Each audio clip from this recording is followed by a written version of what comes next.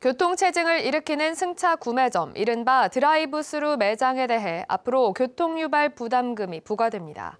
제주도는 최근 차를 탄 상태에서 이용할 수 있는 카페 등 승차 구매점이 늘어남에 따라 도시교통 정비 촉진 조례 개정안을 입법 예고하고 면적 500제곱미터 이상의 승차 구매점에 대해 교통 유발 부금을 부과하는 방안을 추진합니다.